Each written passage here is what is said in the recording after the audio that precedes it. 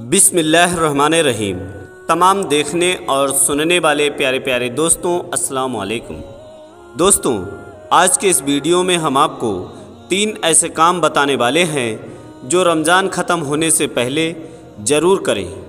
दोस्तों, रमज़ानुल मुबारक अल्लाह का अता किया हुआ एक खूबसूरत लम्हात वाला महीना अब हमसे रुखसत हो रहा है और अपने पीछे ईद की खुशखबरी छोड़कर जा रहा है। लेकिन रमज़ान के आखिरी दिनों में हमको इन तीन बातों का ख्याल रखना चाहिए। और वो तीन बातें कौन सी हैं, ये जानने से पहले मैं आपसे रिक्वेस्ट करता हूँ कि अगर आपने अभी तक हमारे चैनल को सब्सक्राइब नहीं किया है तो अभी चैनल को सब्सक्राइब कर लें और बेल आइकन भी दबा दें, ताकि हमारे हर नए वीडियो की अपडेट आप तक सबसे पहले पहुँचे। दोस्तों आपसे गुजारिश है कि आप इस वीडियो को आखिर तक ज़रूर देखें। और बरए मेहरबानी, अपने सभी दोस्तों में शेयर भी कर दें, ताकि ये वीडियो और भी ज़्यादा लोगों तक पहुँच सके। दोस्तों, अच्छी बातें सुनकर आगे पहुंचाना सदका जारिया है, और इसका अज़र मिलता है। यकीन माने, अगर आपके शेयर करने से किसी एक ने भी इस वीडियो का अमल कर लिया तो इसका सबाब आपको क़यामत तक मिलता रहेगा। और मेरा ये वीडियो बनाने का मकसद भी कामयाब हो जाएगा। तो दोस्तों सबाब की नीयत से वीडियो को दिल से लाइक करके अपने दोस्तों में शेयर ज़रूर करें। शुरू करते हैं वीडियो। नंबर एक, अल्लाह का शुक्र अदा करना। दोस्तों, अल्लाह ताला ने आपको रोज़े रखने की तौफीक दी और इस पूरे महीने इबादतों में मशगूल रहने की तौफीक दी।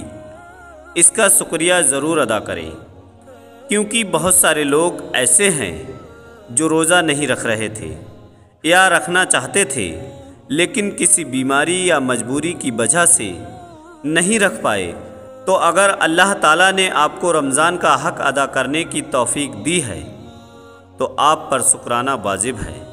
नंबर दो, इस्तगफार करना, तौबा करना।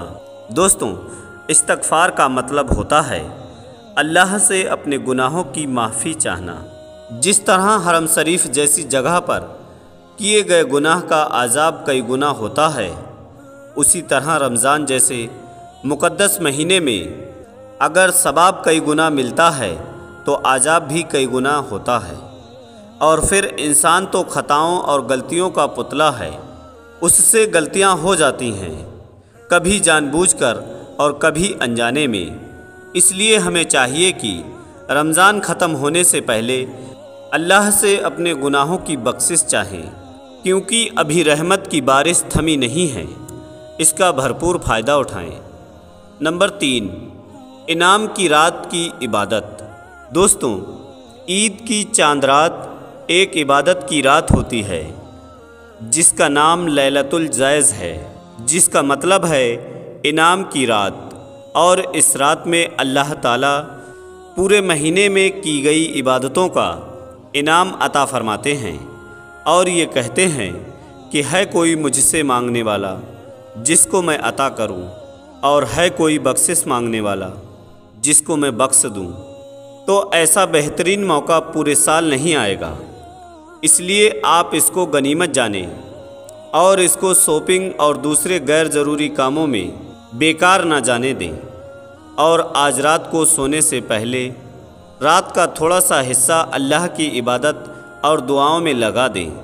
कुछ कहा नहीं जा सकता कि यही रात आपकी ज़िंदगी के लिए बहुत अहम साबित हो जाए। तो दोस्तों, ये हैं वो तीन जो रमज़ान ख़त्म होने से पहले पहले ज़रूर करें। दोस्तों, वीडियो को अपने सभी दोस्तों में शेयर भी करें ताकि ये जानकारी और भी ज़्यादा हमारे मुसलमान भाइयों तक पहुँच जाए। फिर मिलते हैं एक और नए वीडियो के साथ। तब तक के लिए दुआओं की गुजारिश। अल्लाह हाफिज़। अल्लाह हमारा और आपका। हामियों मददगार हो।